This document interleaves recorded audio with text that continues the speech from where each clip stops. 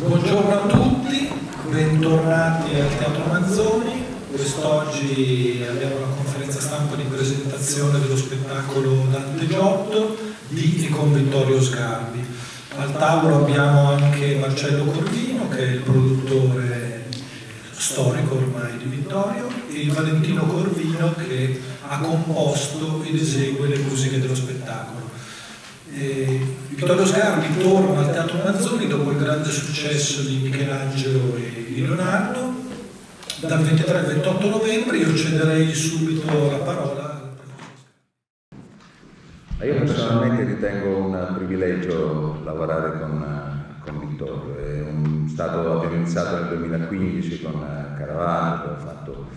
eh, Leonardo da Vinci, Raffaello, Michelangelo e adesso questa nuova avventura tra eh, Giotto e Dante.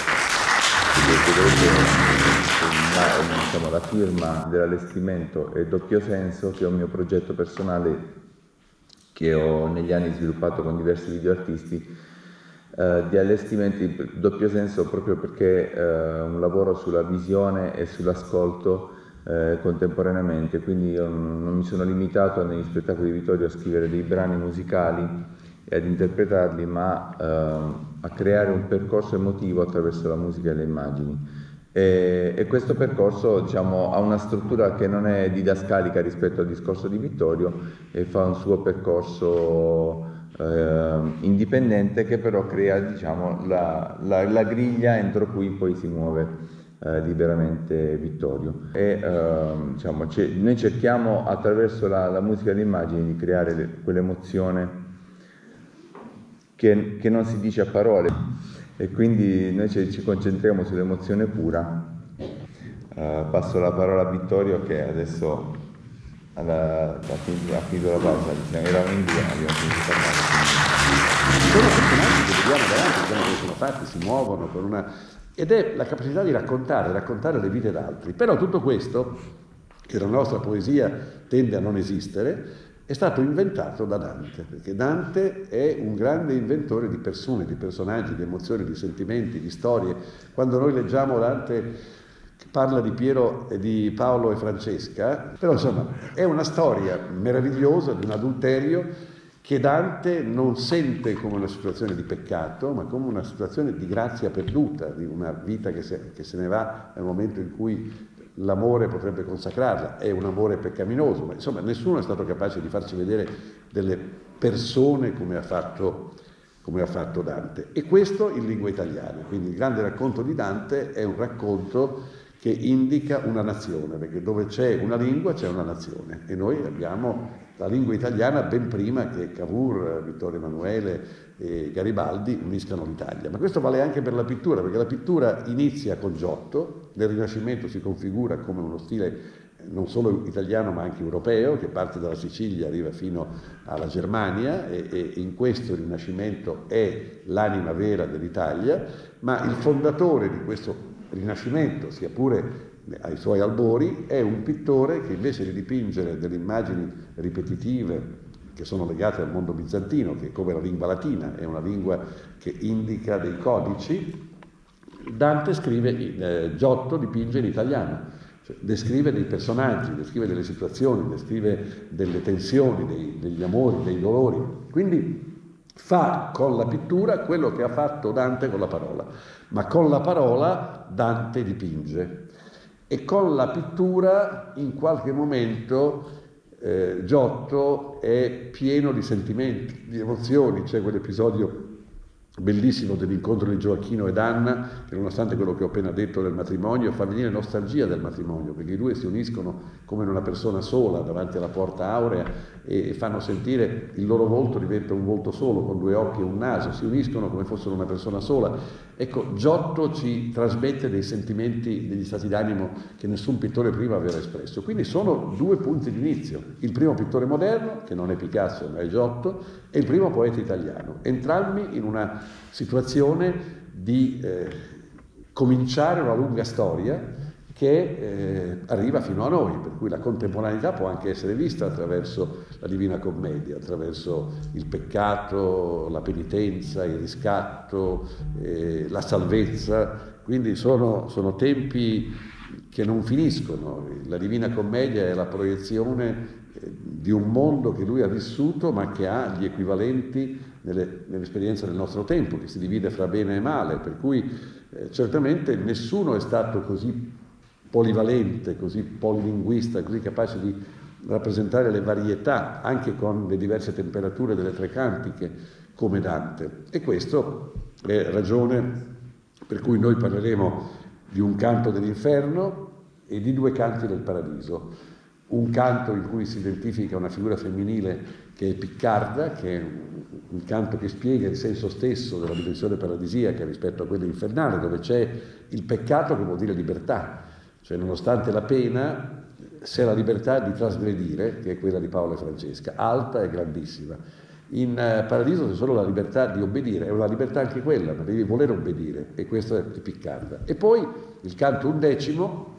che è quello in cui si compie la congiunzione fra Dante e Giotto, perché nell'undicesimo canto c'è la descrizione dei due santi fondamentali della nostra religione, che sono eh, Francesco e Domenico. Francesco è il poeta, il santo della povertà, si sposa con la povertà, vive per gli altri. Domenico invece è un intellettuale che indica i principi fondamentali della conoscenza che porta a Dio. Lui li mette insieme, dà molto più spazio a Francesco che a Domenico e in quel momento noi possiamo agganciarci al ciclo da cui parte l'opera giottesca, che è quello di Assisi, che è nella Basilica Superiore, ha il racconto di Francesco. Quindi le parole di Dante, le immagini di eh, Giotto rispetto al primo santo italiano, che è in fondo l'essere umano più di tutti vicino a, a Dio, vicino a Gesù. Gesù poi era un uomo, il tema della divinità è un tema complesso, lasciamolo perdere, è un tema teologico,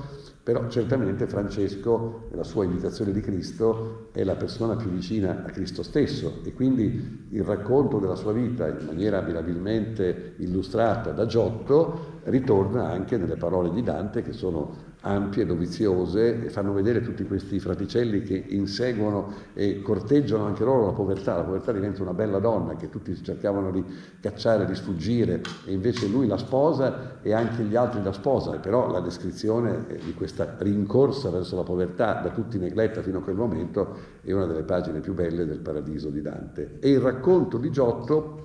compete, talvolta supera, perché Giotto si occupa di molti momenti della vita di eh, Francesco e con una capacità di, non so, c'è il momento in cui eh, l'assetato beve perché Giotto fa, cioè Francesco fa uscire l'acqua dalla fonte e, e senti l'ansia e il desiderio di, di, bere di una persona che sta morendo di sete e così ogni episodio che racconta eh, Francesco che parla agli uccelli, sono immagini meravigliose e sono le prime immagini e quelle assolute, non si potrà più immaginare un Francesco dopo eh, Giotto. Allora, intanto buongiorno professore, ecco Bruno Benedesco, grazie, benvenuto. Senta, volevo chiedere questo, cioè è lecito ipotizzare che artisti come Giotto, citiamo anche Cimabue, Guinizelli, Pietro Gallini, Arnolfo Di Campo, leggendo Dante, Alighieri, eh, compiano proprio una sorta di vera rivoluzione copernicana nel senso che questa rivoluzione porta ad una nuova raffigurazione artistico-letteraria di tipo universale, cioè da un certo momento in poi. C'è un periodo storico, come quello fra il XIII e il XIV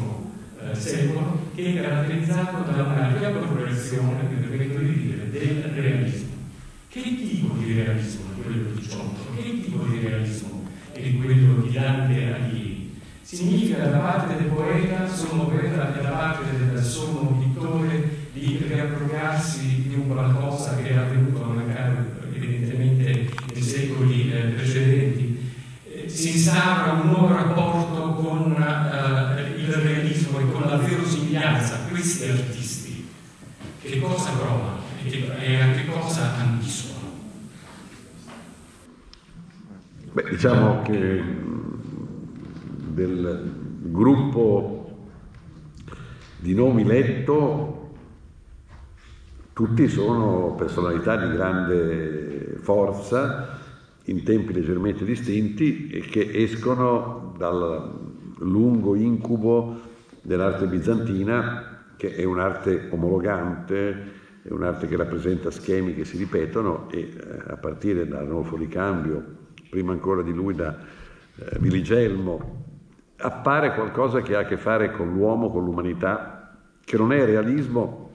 nel senso che noi intendiamo da Caravaggio in avanti, cioè un realismo come rappresentazione della realtà che si vede, è un realismo di emozioni, di stati d'animo, di sentimenti, cioè vediamo, sentiamo quello che ha sete, cioè riusciamo a, a, vedere in quelle immagini non la realtà fotografata, ma una realtà psicologica, eh, una realtà eh, spirituale. E quindi eh, tutti quelli che lei ha indicato hanno questa inclinazione emotiva e sentimentale che diventa un linguaggio moderno, cioè un, un, linguaggio dell'uomo, non un linguaggio di Dio. L'arte bizantina è un linguaggio di Dio e l'arte moderna è il linguaggio dell'uomo. E questo in Dante eh, vuol dire, come negli altri poeti che ha ricordato, scrivere in italiano, scrivere per il vulgo, quindi fare la lingua, la lingua volgare invece che la lingua aulica.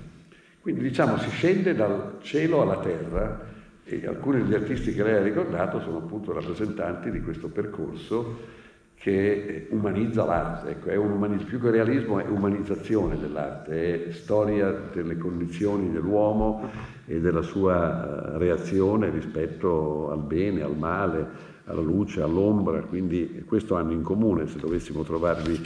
un... e questo vuol dire appunto modernità, cioè dare all'arte il compito di rappresentare non degli simboli, degli emblemi, ma rappresentare qualcosa che è eh, il sentire dell'uomo.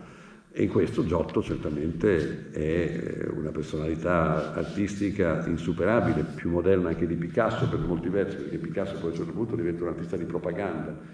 mentre la sobrietà, la sintesi dei grandi artisti, da Giotto Piero della Francesca, è proprio l'antiretorica, è il modo per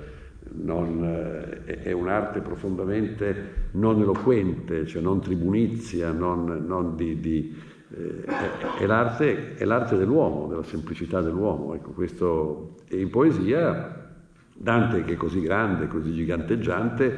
però eh, ha una formula linguistica che indica con precisione assoluta eh, lo stato d'animo e, la condizione psicologica del personaggio che descrive. Quando eh, Francesca, che riparla sempre lei, non parla lui, domina lei, dice che è all'inferno ma continua ad amare e ha un concetto che nel rapporto che la stringe a essere una con un altro, cioè sono due figure che sono sempre insieme, lei dice come un'imprecazione al cielo che mai da me non fia diviso, cioè che nessuno pensi di poterlo separare. Preferisco peccare, stare all'inferno, ma unita a lui, che qualunque grazia. È meraviglioso. Che mai da me non fia diviso. Cioè, quindi eh, la dannazione non è più forte dell'amore contraddice un po' quello che dicevo prima di, di Renzo e Lucia, ma ammesso che l'amore possa essere eterno, ammesso che l'amore possa essere assoluto, lei non si pente, non ci pensa neanche. Se io voglio che lui, anche qui, anche dannati, anche nella merda in cui siamo finiti, però sempre con me. E quello definisce un carattere, definisce una passione. Dire in un verso una cosa così forte non è cosa semplice come le altre poi formule, amor che annulla amato, amar perdone, che sono diventate proverbiali, ma la, quell'imprecazione, poi quando dice che se fosse per lei chiederebbe a Dio di essere gentile e amico con Dante, ma siccome loro non sono nessuno perché sono all'inferno, non ha neanche la forza di poter chiedere qualcosa a Dio, perché Dio comunque si nega a loro. È, è veramente potente. Cioè, il fatto di mettere all'inferno quei due è una cosa che allo stesso Dante non piace. E comunque lei è lì e dice, qui lui comunque deve stare vicino a me. Se anche mi dicesse Dio, vi diamo la grazia, io voglio che lui stia con me, anche se sarebbe stato di peccato perché sono due adulteri. Ecco, allora questa rappresentazione della verità dei sentimenti anche nel male, ecco, il male è uno dei temi più complessi da rappresentare, si è riuscito Caravaggio certamente, ma eh, anche Dante, un, un, artista che riesce a raccontare il male e che riesce, non dico giustificarlo, perché giustificare il male poi potrebbe essere malinteso, però riesce a farne capire le ragioni, ecco, e, e questo è l'uomo, l'uomo è una miscela di male e di bene. Insomma. Ecco, quindi, questo, quindi che, che, i nomi che lei ha letto sono tutti di artisti che riescono a farci vedere l'uomo, ecco, l'uomo appare, compare. Prima, prima di, di, quegli artisti l'uomo non, non è molto, sono delle, delle cose belle, ci sono dei, delle, delle, proiezioni verso il mondo, il mondo metafisico, è, è, lo spirito dell'arte bizantina, non, non c'è un uomo nel mondo, sono lì, sono, c'è la religione, c'è la fede, c'è c'è la grazia, c'è la luce, ma l'uomo comincia a apparire qui, con Dante e con Giovanni. Sempre in equilibrio fra uh, dire, dimensione terrena e dimensione eh, celeste, con loro due, voglio dire, l'immagine uh, è portata a dire uh, cose universali. Non c'è dubbio, d'altra parte l'arte o è universale o non è, sarebbe cronaca altrimenti, quindi quando, quando, si sente appunto il canto celebre che noi non mancheremo di celebrare del Paolo e Francesca, l'emozione prende chiunque, insomma, non c'è nessuno che, si nessuno che li condanna. Loro sono condannati, però Dante li assolve anche noi, il che vuol dire che il bene è relativo o il male è relativo. Insomma, sono considerazioni che non avrei voluto fare, ma insomma è vero che noi proviamo una profonda partecipazione e Dante chiude il canto dicendo e caddi come corpo morto cade. Anche lì la meraviglia del verso, la cadenza delle parole è per dire che lui era talmente eh, sopraffatto da questo che aveva visto che non è in grado di, è in grado di, di, di respingere quella verità, non è in grado di contrastarla, non è in grado neanche di dare ragione a Dio, cioè gli viene, dubita perfino di Dio, quindi preferisce cadere come corpo morto cade che entrare. Quindi eh, sono, spesso accade che, che Dante abbia la capacità di rappresentare in modo così intenso i sentimenti e le emozioni. Ma se Milano avesse 4 milioni di